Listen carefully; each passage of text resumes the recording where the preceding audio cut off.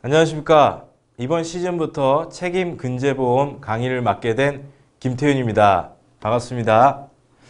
자, 이번에 이제 신체 손해사정사 2차 아, 시험이 끝나고 이제 합격한 분들도 계시고 또 새롭게 공부를 시작하시는 분들도 계신데 이번에 제가 신규로 어, 강의를 맡게 되면서 앞으로 여러분들과 많은 도움과 길잡이 역할을 할 수 있도록 하겠습니다. 자, 먼저 제 소개를 먼저 드리겠습니다. 저는 2004년에 D 손해보험사에 입사해서 아, 약 15년 정도 근무를 했고요.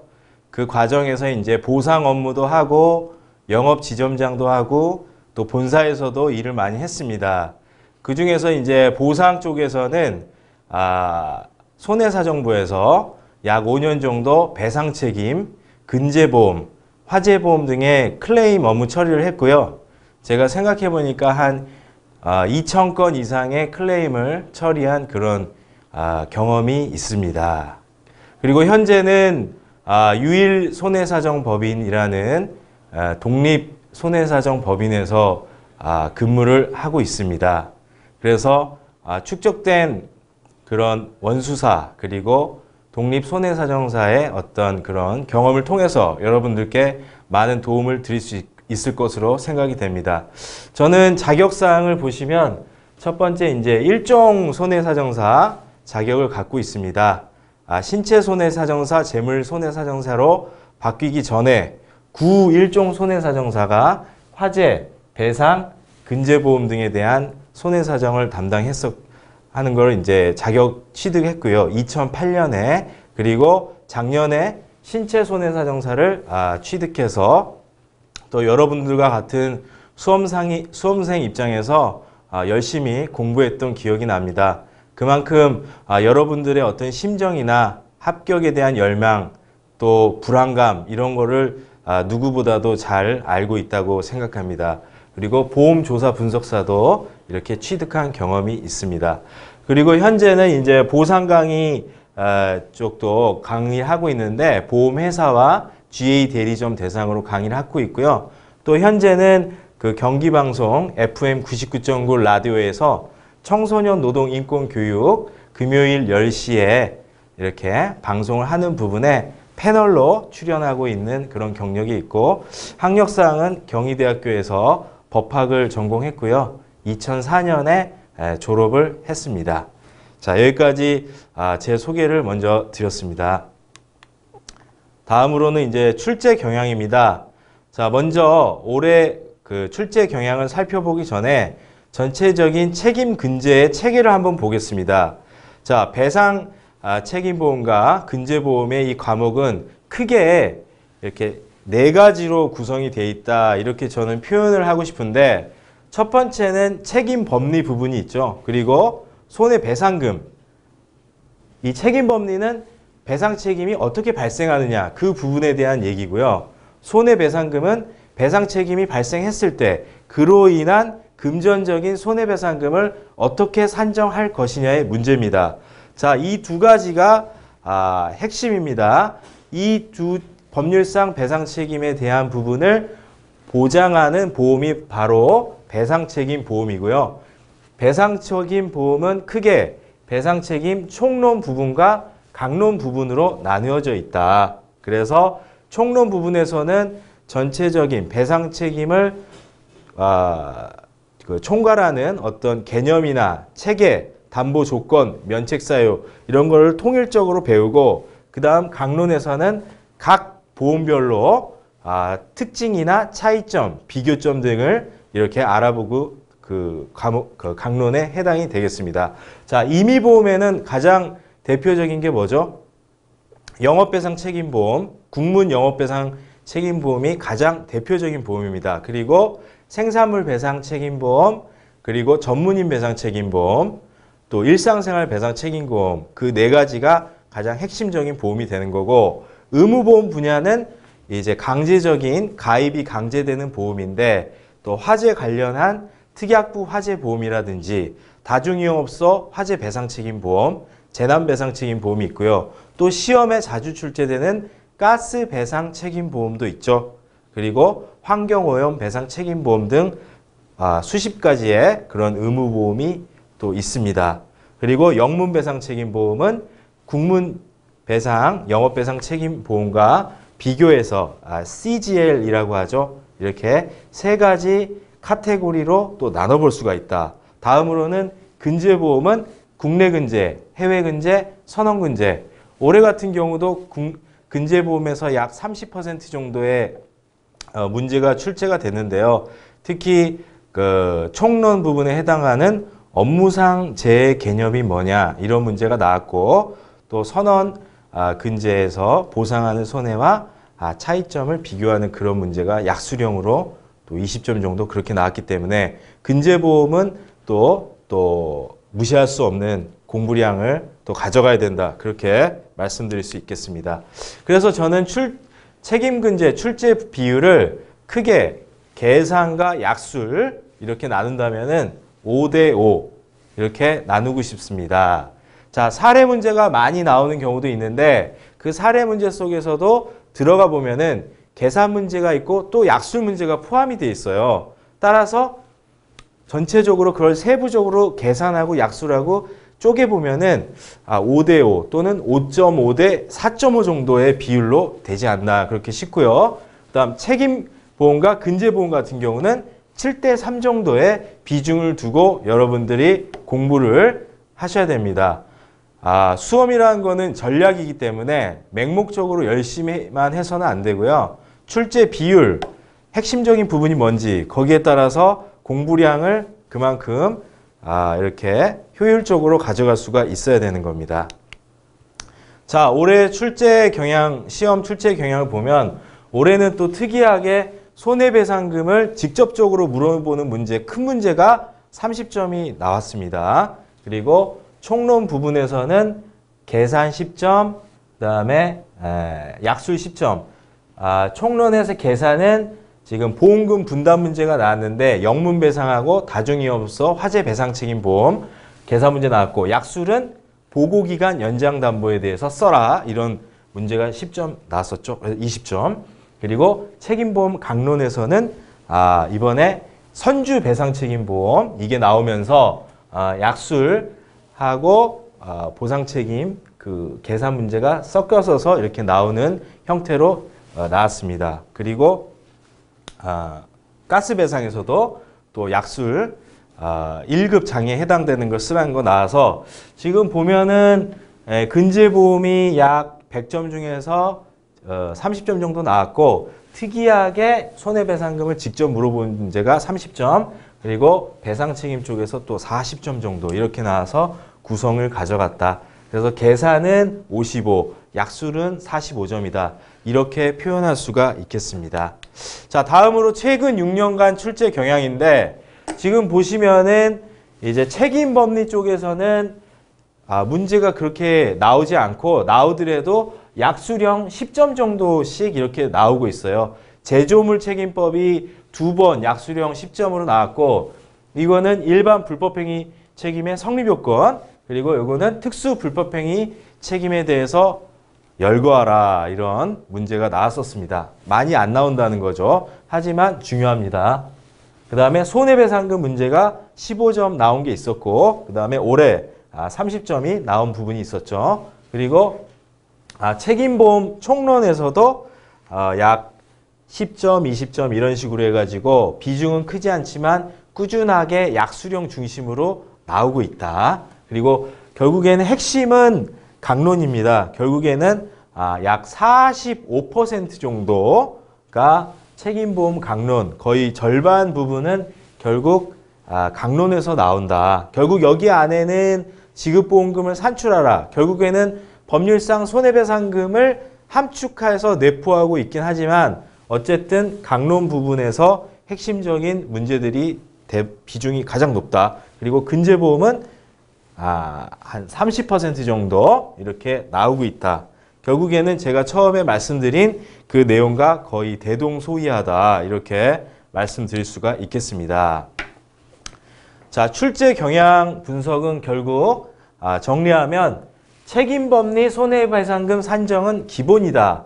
책임법리 손해배상금 산정은 아, 문제 수도 많지 않고 비중도 크지 않지만 그거는 뿌리에 해당되는 내용이기 때문에 기본기를 이룬다는 거죠. 그래서 책임 법리는 출제 여부를 떠나서 반드시 충실하게 학습하고 책임 법리가 무엇인지 책임의 발생 근거는 여러분들이 항상 머릿속에 생각하면서 공부를 해야 된다는 거고요.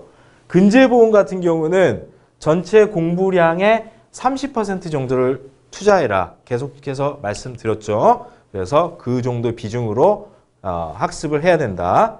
그리고 출제 비중의 50%는 배상 책임 강론이다. 따라서 아, 임의보험, 의무보험, 영문배상 이렇게 세 개의 카테고리에 대해서 약 한 10개에서 20개 정도의 그 보험 종목들을 공부하면 충분히 커버할 수가 있다. 그렇게 출제 경향에 대해서 말씀드렸습니다. 자, 다음으로는 합격 전략 공부 방법론입니다. 이제 처음 이렇게 시험을 준비하시는 분들도 계시고 그 다음에 아, 책임 근제를 때문에 과락이 나와서 뭐 2년, 3년째 떨어지는 분들도 계시더라고요. 그런 분들을 위해서 저도 작년에 수험생의 입장에서 제가 공부한 방법을 한번 말씀드리도록 하겠습니다. 자, 신체 손해사정사 앞으로 9개월 얼마 안 남았죠? 그래서 9개월 정도 지금 남았습니다. 책임 근제 어떻게 준비할 것인가? 자, 모든 시험에 있어서의 기본적인 학습 흐름을 보면 3단계입니다. 첫 번째 이해, 정리, 암기 이 세 개의 절차가 이루어져야지만이 아, 합격할 수 있다. 그렇게 생각을 하시면 되고 먼저 이해 부분입니다. 내용을 먼저 이해를 해야 된다는 거죠. 가장 좋은 방법은 동영상을 수강하는 겁니다. 학원에서 하는 강사분들, 본인하고 맞는 강사분들이 있어요. 그런 강사분들의 동영상을 수강하면서 연필로 줄치기, 기본서를 선택하면 거기에 처음부터 볼펜으로 줄을 치시는 분들이 있어요. 그러면 두 번째 2회독, 3회독을 해야 되는데 너무 보기가 싫습니다. 따라서 첫 번째 동영상 수강하실 때 반드시 연필로 샤프로 자대고 아, 줄을 깨끗이 치실 것을 꼭 부탁드리겠습니다. 그리고 기본서를 정독하는데 2회독 이상은 필수적으로 해야 돼요. 처음에 강의를 수강하다 보면 이해가 안 됩니다. 그런 부분은 넘기면서 끝까지 아, 정독을 하시고 그 다음에 다시 돌아와서 한 번 더 강의를 재수강하면 이해도가 훨씬 더 올라갑니다. 한 60%에서 80%까지 아, 두 번 들으면 이해도가 올라가기 때문에 처음에 이해 안 되고 스트레스 받는다고 이렇게 좌절하거나 그래서는 안 된다는 거죠. 그래서 그런 과정을 통해서 이해를 하시고 두 번째는 이제 정리입니다. 우리가 이제 기본서를 아, 이렇게 단권화를 해야 되는데 단권화라는 거는 뭐냐면은 아까 지금 연필로 줄을 쳤죠. 그리고 두 번째 할 때 정리가 같이 포함되는 개념인데 기본서 단권화, 단권화 결국 아, 중요한 부분은 형광펜 빨간색 또 노란색 또 파란 연두색 이런 걸로 형광펜을 하고 그 다음에 위아래 메모를 하고 그 다음에 서브노트를 꼭 만드셔야 됩니다. 약수령 대비에는 서브노트가 꼭 필요하다. 뒤에서 다시 한번 말씀드리겠습니다. 그리고 정리, 그 다음에 암기. 암기는 아, 무턱대고 외우려고 하지 마시고요. 충분히 이해를 하고 2회독, 3회독을 거치면서 저절로 암기되는 부분들이 있어요. 그분 분, 그 부분들은 이해를 최대한 한 다음에 마지막 순간에 마지막 2주일이 가장 암기가 잘 됩니다. 왜냐하면 마음이 급하기 때문이죠. 사람은 정말 코너에 몰릴 때 초인적인 힘이 나오잖아요. 암기하기, 시, 저도 암기를 하는 거 엄청 안 좋아하는데 2주 전 되면은 저절로 암기를 하게 되더라고요. 그렇기 때문에 막판 2주일이 가장 잘 된다. 그때를 노려라. 그 다음에 자주 보면 자연스럽게 애워진다는 거죠. 억지로 외우려고 하지 마시고 자주 이렇게 보면은 암기가 자연스럽게 되는 부분들이 많이 있다. 그렇게 알고 계시면 되겠습니다. 자, 구체적으로 한번 설명을 드리면 자, 이해를 위한 최선의 방법은 아, 학원 동영상 수강이다. 이렇게 아, 말씀을 드릴 수가 있겠습니다. 자, 학원 동영상 수강 말씀드렸죠. 동영상 강의는 2회를 반복해라. 한 번 듣고 2, 3주 정도 쉬었다가 다시 한 번, 한 번 들은 다음에 머릿속에서 맨맨 돌고 기억이 하나도 안 나요. 그러면 그리고 근데 2, 3주 정도 쉬었다가 다시 들으면 그때 훨씬 더 기억이 많이 남습니다. 이해도가 훨씬 더 올라간다는 거죠. 그래서 2, 3주 정도 쉬었다가 듣고 그 다음에 첫 번째 들을 때는 기본서의 주요 개념하고 키워드에 연필로 줄을 치세요. 볼펜으로 치지 말고 그 다음에 강사가 중요하다고 하는 주제에 자기 나름대로 별표 하나, 둘, 세 개 그거를 표시를 해 두십시오. 표시를 해 두고 그 다음에 기출문제가 나오는 분야가 있어요. 그 부분에는 제목 옆에다가 반드시 기출이라고 표시를 해 주십시오. 왜냐하면 결국에는 시험은 나온 데서 또 나옵니다. 안 나온 데서는 나올 수 있지만 나온 데서 계속 중요한 게 반복적으로 나오기 때문에 기출 문제가 무엇인지를 명확하게 표시를 해놔서 중요한 거, 중요하지 않은 거를 이렇게 차별화를 해야 된다는 거죠. 자, 처음에 동영상 강의 수강하면 개념 자체가 생소하기 때문에 에, 전체적인 목차를 염두에 두면서 그러니까 그냥 그 내용에만 집중하지 마시고 전체적인 흐름을 항상 염두에 두면서 아 내가 이 부분은 전체 어, 줄기에서 어느 부분이지 그걸 항상 생각하면서 들, 들으셔야 돼요. 그래야지 전체적인 체계가 잡힙니다.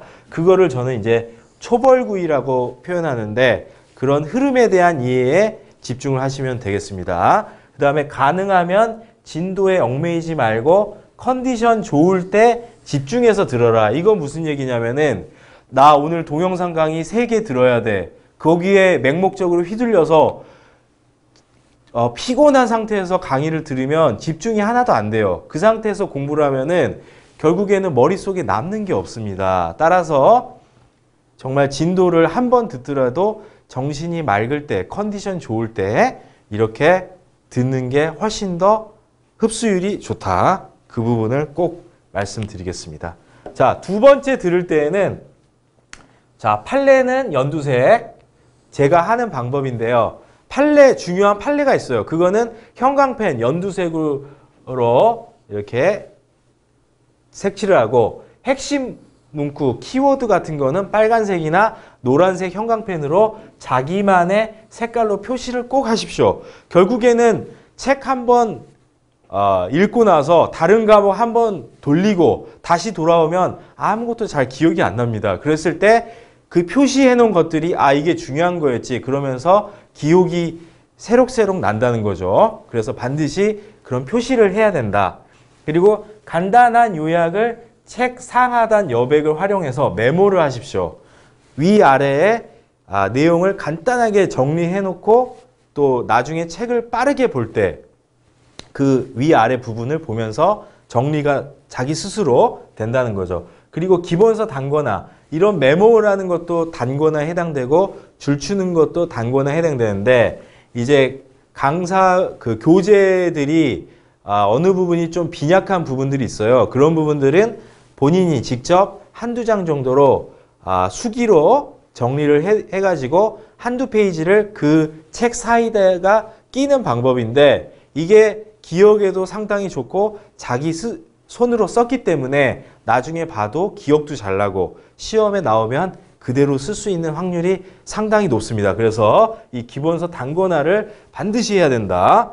그리고 아, 말씀드렸지만 진도에 흔들려서 빨리 듣지 말아라. 그리고 중요 내용이 나오면 정지시키고 동영상을 중지시키고 해당 부위를 한 번 더 정독하고 줄도 치고 아, 메모도 해가면서 그렇게 최대한 내 걸로 만드는 과정이 필요하다. 그래서 1시간 분량의 강의다. 그러면 그거 막 나 1.5배속으로 듣는다. 그런 거 자랑하지 마시고 1시간 반 동안 듣겠다.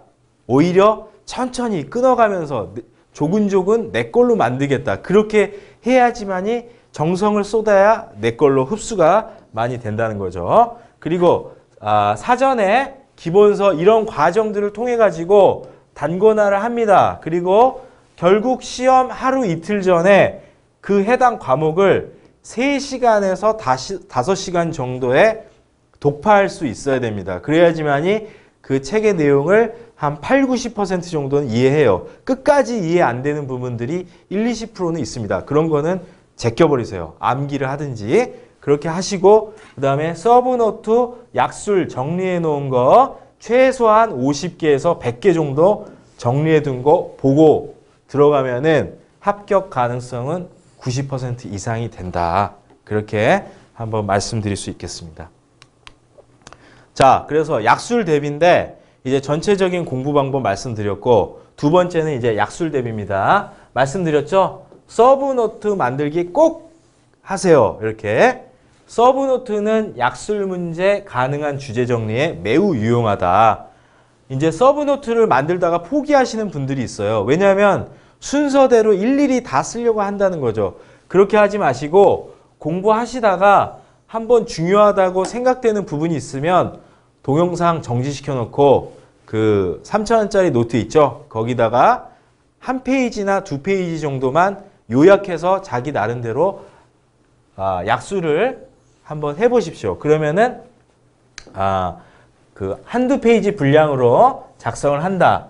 책의 순서대로 정리하려고 하면 스트레스를 받습니다. 왜냐하면 차례대로 정리를 하려고 그러면 그게 100개면은 100개를 다 차례대로 해야 되기 때문에 중간에 포기해요. 그러니까 순서에 관계없이 내가 중요하다고 생각하면 먼저 쓰고 또 나중에 쓰고 어차피 시험 볼 때는 순서가 없습니다. 머릿속에 다 정리가 되기 때문에 순서에 집중하지 마시고 되는 대로 계속 정리 하나하나 하다 보면 그게 쌓이면 50개, 60개, 100개 이렇게 된다는 거죠. 그리고 전체적으로 80개, 100개 정도 핵심적인 약술 주제 최소 50개 이상 정도 정리를 해놔야 높일 수가 있다. 자, 그 다음에 약술 대비 한번 다른 부분은 최근에 법률 어, 법률 개정 사항을 아, 집중하십시오. 자, 최근 법률 개정 사항은 반드시 정리를 해야 된다. 2018년에도 제조물 책임법 개정 사항 나왔죠? 네, 나온다는 거죠.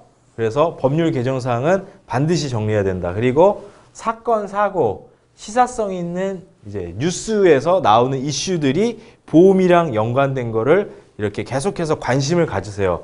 그런 거에서 결국에는 시험 문제가 나올 가능성이 상당히 높다. 그 다음에 글씨 못 쓰더라도 또박또박 정성 들여서 써보는 것 자체가 최고의 답안 작성 연습이다라는 겁니다.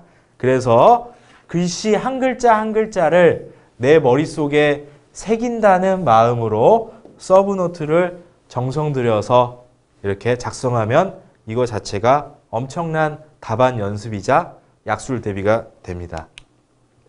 자, 다음으로는 이제 사례풀인데요. 사례풀이는 보통 이 4단계 원칙에 의해서 풀리게 돼 있습니다. 사례가 주어지면 자, 법률상 배상 책임, 약관상 보상 책임, 손해배상금 산정, 지급보험금 산정 이 네 단계에 걸쳐서 항상 문제를 풀어나가면 되고 문제에 따라서는 약관상 보상 책임 있는지 없는지만 물어보는 문제도 있고 지급보험금의 산정까지 물어보는 문제가 있습니다.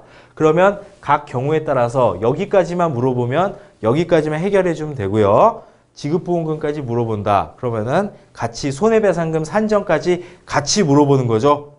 그래서 지급보험금, 자기부담금 문제, 보상 한도 같이 해주면 됩니다. 그래서 아, 첫 번째 사례가 문제가 나왔을 때는 당연히 손해배상 책임 있는지 먼저 검토하고 그 다음에 그 사고를 보장하는 보험이 뭔지를 찾아야 됩니다.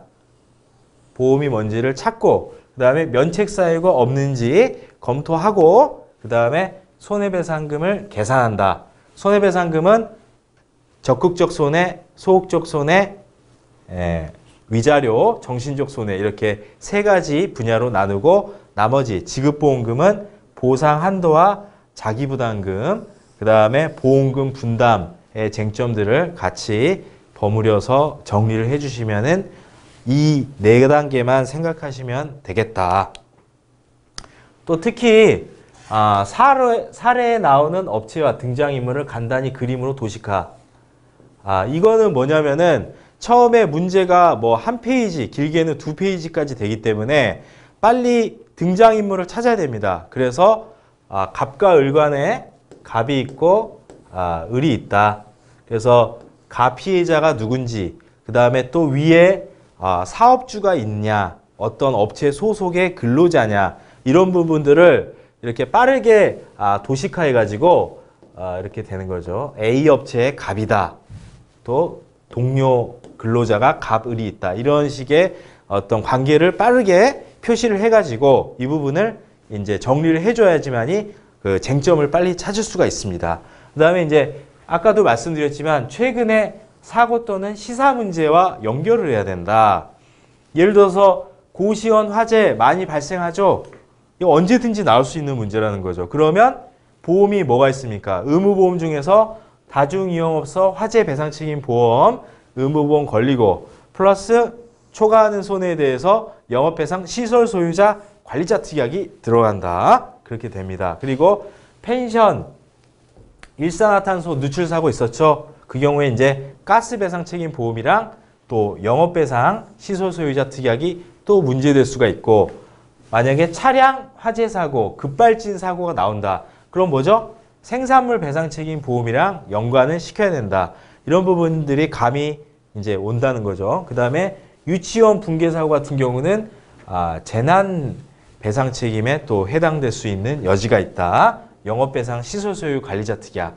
그 다음에 아 작년에 아 올해 올해인가요? 자, 어, 헝가리에서 그 유선 침몰 사고가 있었죠. 결국에는 올해 2019년에 아, 선주 배상 책임으로 해가지고 문제가 나왔습니다. 그래서 그 부분도 저도 올해 그런 거랑 연관되면서 아, 이쪽이 또 안타까운 사고지만 또 이 시험이랑도 연결될 수 있겠구나 이렇게 생각했는데 결국 시험이 나오더라고요. 그러니까 이런 부분들을 꼭 아, 염두에 두면서 공부를 해야 효율적인 공부가 될 수가 있다. 자, 제 강의 방향입니다. 저는 아, 첫 번째 과락을 방지할 수 있도록 하겠습니다. 그리고 아, 점수는 최소 60점 목표로 하겠다. 결국 어, 공부는 많이 했는데 과락으로 이렇게 떨어지신 분들이 많이 있습니다. 그런 분들을 위해서 어, 체계적인 어떤 개념 중심의 학습을 통해서 과락을 최대한 방지하는 학습법 그리고 60점 목표 그 이상 더 올라가면 좋겠지만 일단은 60점의 선을 두고 어, 어떤 학습 강의 방향을 정하겠다. 첫 번째로는 개념 중심의 큰 틀의 에, 이해만 해도 과락은 막을 수가 있습니다. 전체적인 책임 법리, 손해배상금의 산정, 그러한 법률상 배상 책임을 담보하는 배상 책임 보험, 그리고 근제 보험 이런 것을 큰 틀에서만 그 핵심적인 부분만 이해해도 사례 문제 푸는데 그렇게 어렵지 않다는 거죠. 그래서 개념 중심의 큰 틀의 흐름을 잡아주는 그런 강의를 하겠다는 거고요. 또 사례 문제에 대해서는 유형별 대비를 하겠다.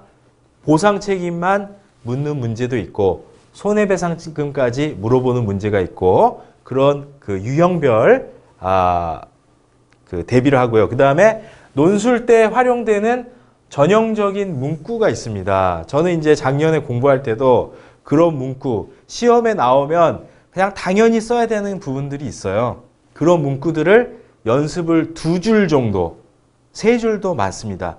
두 줄 정도에서 세 줄까지 해서 정리를 딱 해놓고 아 문제 나왔다. 그러면 제가 해놓은 문구를 그대로 쓰면서 거기에 등장인물만 거기에 넣어주면은 그대로 쓸 수 있는 그런 문구를 아, 제공해 드리고 그렇게 되면은 사례형이 오히려 더 쉽습니다. 약술 같은 경우는 사실 제가 공부를 안 하면 못 풀어요. 모르니까. 근데 사례형은 어느 정도 사례에 나오는 패턴이 유형화돼 있기 때문에 그 부분만 연습해 놓으면 아, 어느 정도는 다 쓸 수가 있어요. 사례 문제가 오히려 더 쉽다. 나중에는.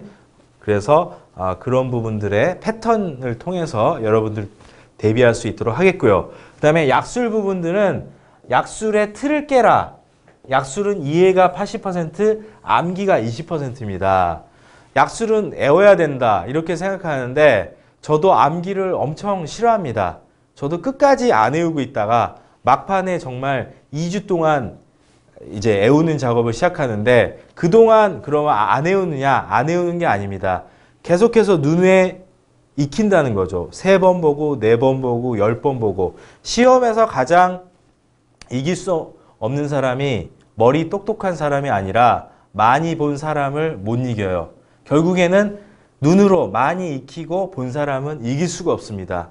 결국 그래서 약수를 억지로 암기하려고 하지 마시고 이해하고 자주 보면 저절로 암기되는 부분이 80%고 마지막 그걸 딱 정리하는 부분이 암기 20% 키워드 중심으로 암기를 해라.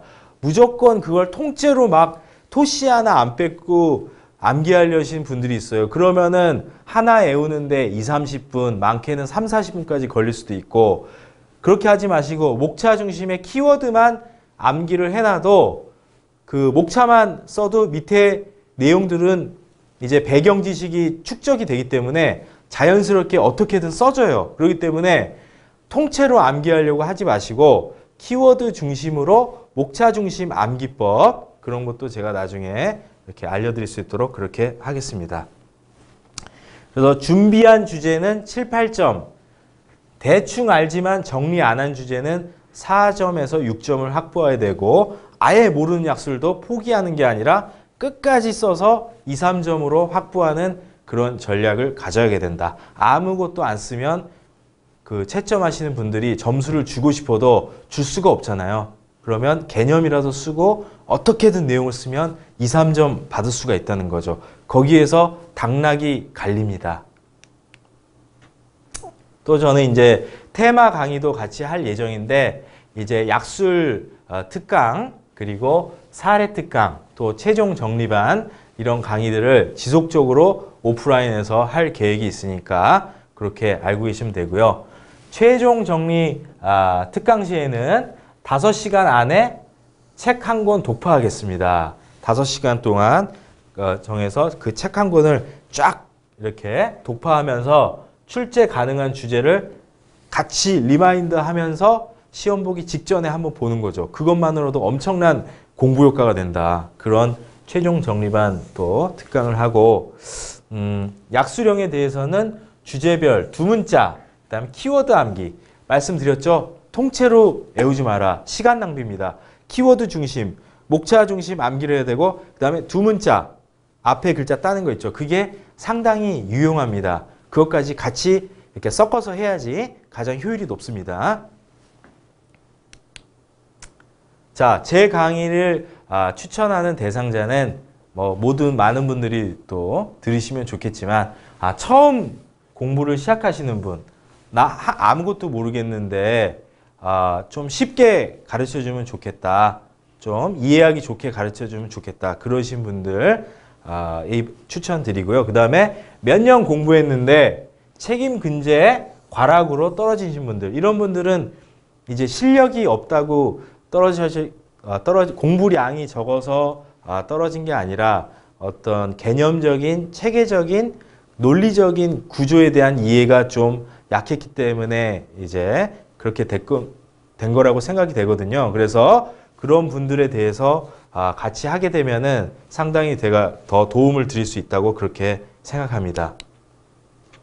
예, 여기까지 이제 제가 강의를 마쳤는데 앞으로 제가 이제 강의를 하게 되면 아, 제 강의를 수강하시는 분들에 대해서는 별도로 이렇게 상담이라든지 그런 분들을 진행할 아, 예정에 있으니까 그런 분도 나중에 같이 말씀드리도록 하겠습니다. 예, 오늘 오리엔테이션 강의 들어주셔서 감사합니다.